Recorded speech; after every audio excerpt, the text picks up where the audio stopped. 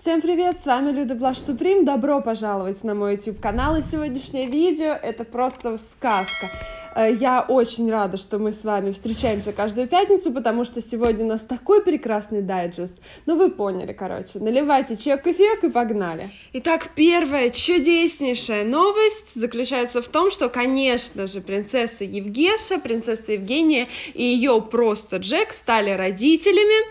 9 февраля в 8 часов 55 минут на свет появился э, маленький наследник э, принцессы и ее мужа. Он весил 3 килограмма килограмма 657 граммов. Мы предполагали, что будет мальчик по вот этим синеньким мишкам, тапочкам. Появился он на свет в Портландской больнице, там, где рожала Меган Маркл, но об этом мы еще отдельно поговорим. Все, конечно, просто в восторге от этой новости. Евгения буквально... Все, и Матвей в том числе очень рад. Буквально 8 февраля опубликовали видеокол, где принцесса Евгения вот уже на последних, последних сроках своей беременности появилась перед публикой, опять же онлайн, но тем не менее появилась, и выглядела она, кстати, отлично. Э, совершенно не отекшая, не расплывшаяся, очевидно, держалась в норме до самого дня X. Что самое интересное, точнее, интересного в рамках этой новости очень много, я вам обо всем расскажу, э, но прикол заключается в том, что журнал Star Hit, ну вы знаете, это журнал тот, который держит это жена Андрея Малахова, они опубликовали новость, что принцесса Евгения стала мамой. И благополучно опубликовали фотографию принцессы Беатрис э, на ее свадьбе. Было очень забавно, но, конечно, потом они эту сторис подтерли. Неудобненько вышло. Но, но это все лирика, конечно. Самый такой на данный момент э, яркий прикол, приколдес, как сейчас можно модно говорить. Это приколдес высшего уровня. Заключается в том, что я даже не знаю, как это рассказать, чтобы не просто не заржать в очередной раз. В общем, все мы знаем просто Джека, мужа Евгеши. И мы, э, ну, кто-то знает, кто-то не знает, он работает э, представителем, амбассадором бренда текилы Касамигос. Точнее, его должность звучит как европейский бренд-директор. Ну, по большому счету, это э, амбассадор-представитель Касамигос, получается, в Европе. Так вот, Спустя 11 минут после того, как в Инстаграм принцессы Евгении э, появилась вот эта новость, 11 минут э, прошло всего лишь, эта компания Casamigos опубликовала пресс-релиз и разослала всем новостным агентствам, в котором э, звучало следующее. Вот ввиду вот таких новостей мы понимаем, что вы будете публиковать информацию о Евгении и Джеке. Пожалуйста, имейте в виду, что каждый раз, когда вы упоминаете Джека в своих новостях, вы должны э, приписывать ему его титул ну, э, как бы титул, его должность, title, э, европейский бренд-директор Casamigos Tequila. То есть маркетологи там работают очень быстро. Хочу напомнить, что никаких титулов, э, королевских титулов у Джека нету. Он даже не сэр, не пэр, не мэр, никто. Он бренд-директор, европейский бренд-директор. Но очевидно, конечно, что пресса не обиделась, но шаг вот этот вот совершенно для них был непонятен. Потому что с этого момента никто в газетах не называет Джека европейским бренд-директором Casamigos, House, они даже не называют э, эту, эм, э, этот бренд. Они называют этот бренд текилы 45 фунтов за бутылку текила. Э, компания текилы. Ну, в общем, по-английски это звучит более красиво, но это, это такое позорище, это просто так э, несимпатично, и его называют как э, представитель алкогольной компании, то есть бренд-директор алкогольной компании. То есть Касамигос, по сути, сами себе навредили, и вот спустя просто 11 минут даже заголовки «They didn't take long», им понадобилось немного времени, чтобы да, понять, где они тут могут больше заработать. Это, в общем, выглядит все некрасиво, учитывая, что Евгению и Джека очень все любят, очень тепло к ним относятся, сразу видно, когда люди хотят заработать, да, на таком событии больше-больше денег. И это им, конечно, сыграло плохую шутку. По поводу места, где принцесса Евгения рожала, я уже сказала, что это был The Portland Hospital, то есть Портландская больница, а, но э, там рожала Меган Маркл. И газеты, конечно, трубят об одном ярком моменте, который отличает роды Меган от роды принцессы Евгении. Меган и Гарри делали все возможное, чтобы место, где Арчи появился на свет, оставалось э, в тайне. Просто в супер-мега тайне, мы уже про это говорили, что даже поговаривают, что у Гарри там кукуха поехала на фоне э, вот этой вот секретности. Что касается принцессы Евгении, она же наоборот, она очень открыто и откровенно сразу моментально сказала, что ее сын родился в Портленд Хоспитал. Вообще говорят, что палата там стоит примерно 20 тысяч фунтов стерлингов, это топовая больница, самая крутая, одна из самых крутых, классных, селебрити тоже э, постоянно там рожают.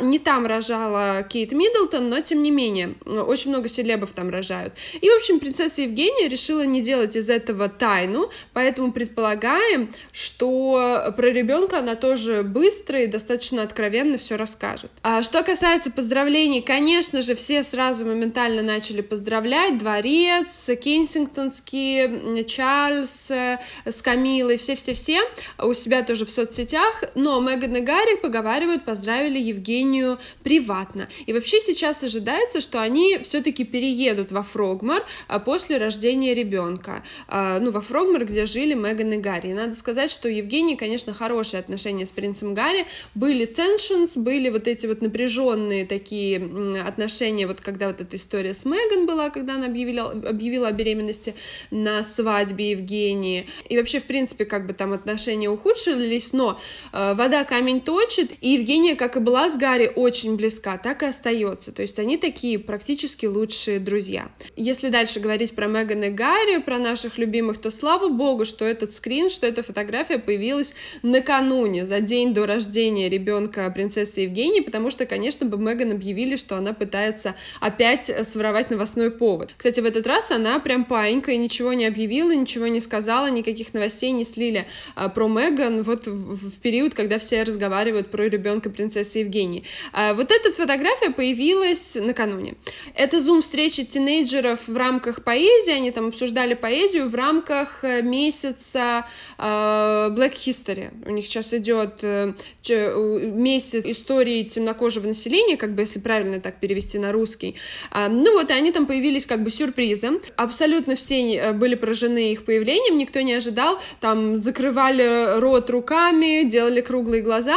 И, в общем, дети посоветовали Меган присмотреться к песням Джонни Митчелла, и они сказали, что они добавят эти песни в свой плейлист э, на ужин, который у них играет во время их ужина. Так что можем сделать вывод, что они не смотрят телевизор, когда принимают пищу, э, что очень правильно.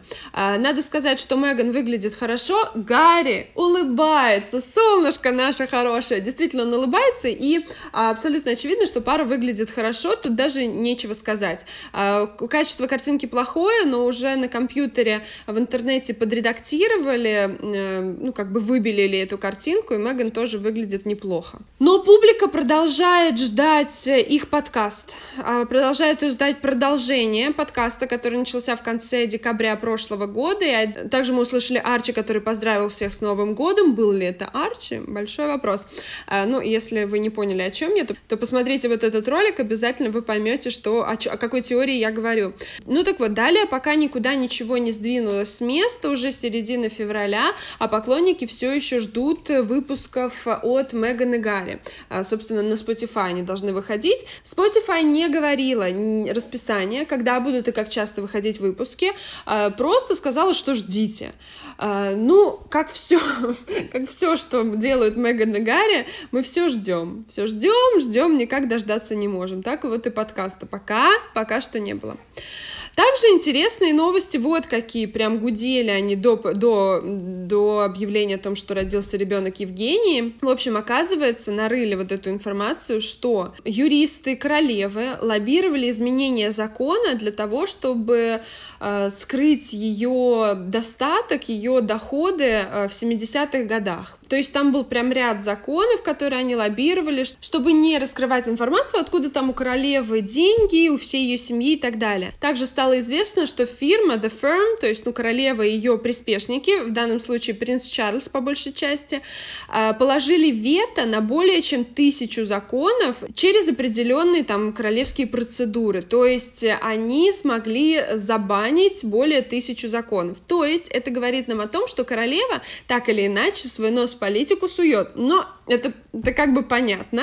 А, мы живем все в не, э, несовершенном мире. Если королеве запрещено э, нырять в политику, она нет-нет, да и все равно будет э, это делать. И будет это делать ее семья. Ну, сейчас наружу всплыла эта информация, и фанаты Меган Маркл во всю слышание, во все рупоры начинают твердить, давайте тогда мы у королевы заберем ее титул. Ведь она хочет забрать титулы у Меган за то, что она э, погружается максимально в политику, так давайте сделаем то же самое и с королевой.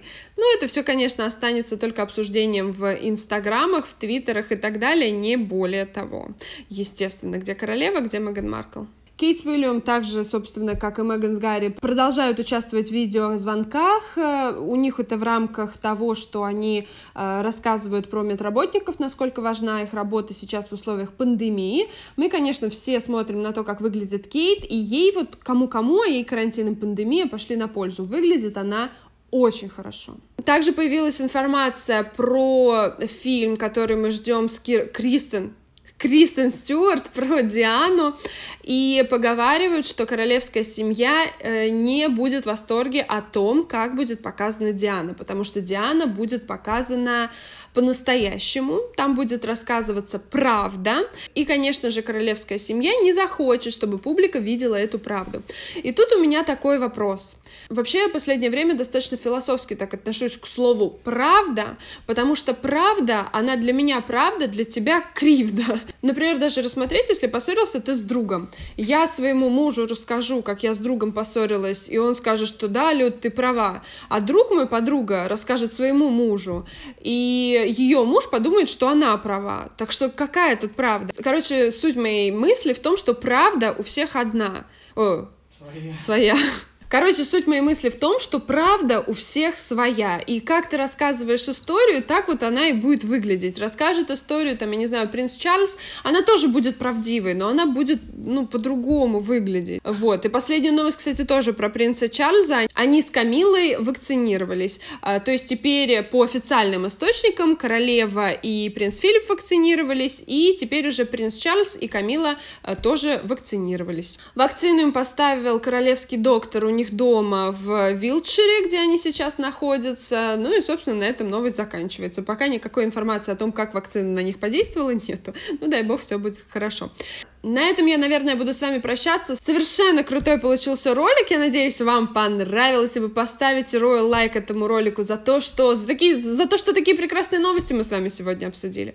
Спасибо большое, что были сегодня со мной. Увидимся в следующих видео. Пока-пока.